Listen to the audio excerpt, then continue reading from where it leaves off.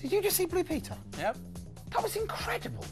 What was that then? What the Whistling Village? An entire village that communicates just with whistling. That is astounding. It was quite good. Quite good. One guy whistles from one end of the village, and the guys at the other end know exactly what he's talking about. If they did have a little bit of help from me. There was no help, just whistling. He whistles, the others know to pat their head and do a little dance. I, I'm, I'm speechless. Jeff, it's just been on. How did you miss it? I was telling them what to do. No one can understand whistles. I just didn't want Helen to be disappointed. Dan, you're delusional. I saw Andy, I saw Helen, I saw Joel, I saw whistling men. I did not see you because you were here all summer. Jeff, for the last time, I was in Turkey all summer with my bestest friends, Andy, Helen, and Joel. I was in the Whistling Village telling them what to do. Have a look, Jeff. Can we make them pat their heads? Could Engin give instructions to his neighbours at the other end of the street purely by whistling?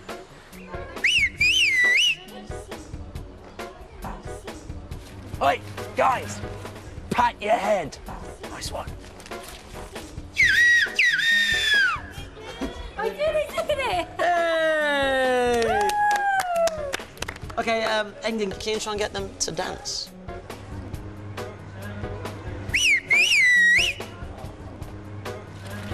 Do a little dance.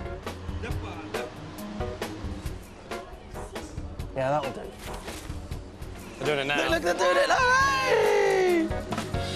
So far, so good.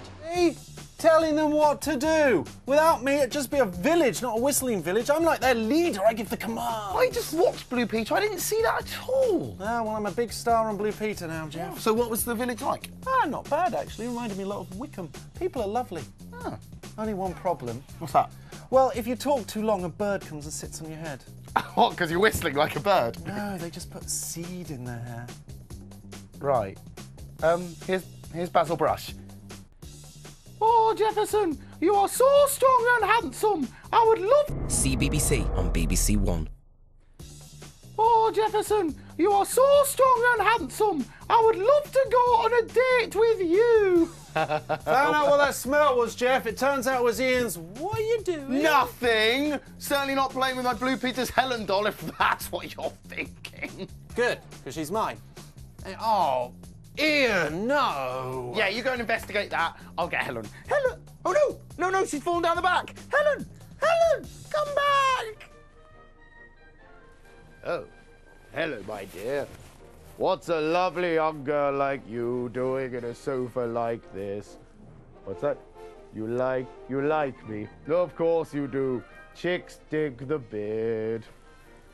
Wise one, you have found proof that giants do exist above us. Now you must believe me. Oh, young fluff, you and your tales of giants.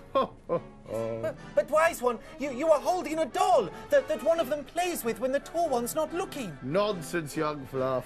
This is my wife. Yes, we totally just got married and we're in love, aren't we, dear? Yes, we're in love. Yes.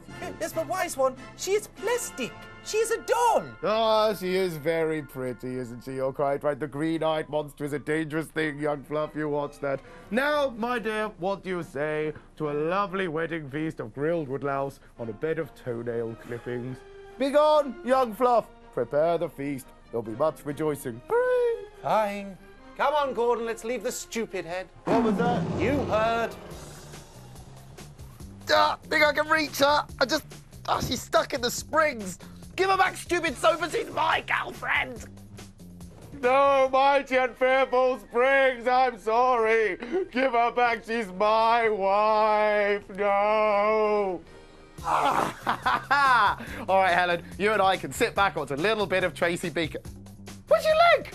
No! Woe is me. She's gone before I a chance to get to know her. Put it down, Gordon. Put it down. Uh, wise one, dinner will be delayed. What? Where's your wife? I um I decided it wasn't working out, so we we separated. Well, she's definitely separated, isn't she, wise one? Uh, she left me this glass slipper to remember her by. Slipper and her leg. It's a memento. Go away. You stupid head. Come on, Gordon. I love you, leg.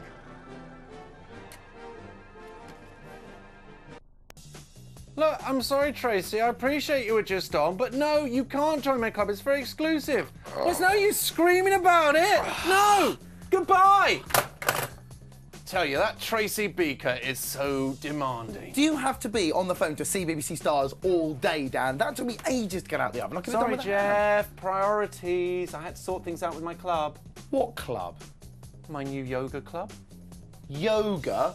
What, where, uh, where, where, where, people bend themselves all out of shape to be one with themselves? What do you know about yoga? Took a crash course in it, Jeff. Observe.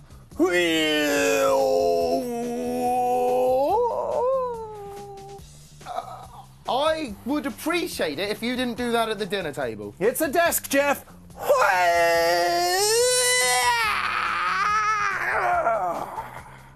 Who taught you to do that? Some of my friends, Jeff.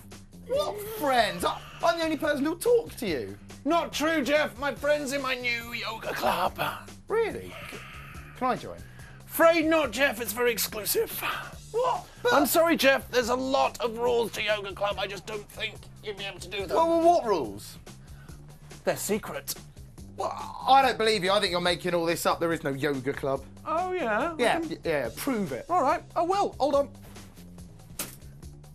There they are. That one I call her the sound of one hand clapping. There's my little grasshopper. That one's hidden tiger. There's crouching dragon. And that's lotus flower. Uh, all right, great. You can do yoga. You've got yoga friends. Thank you. Go on, you were right. I was wrong. Show off. Rub my face in it. Oh, it's not part of yoga to show off, Jeff. It's not in our nature. Or maybe yoga's been good for you, Dan. Ah, who am I kidding? It's so part of yoga. Hit it! Yeah! Now we can see that they're. Oh, shut up and Here's play a what leg. Beaker.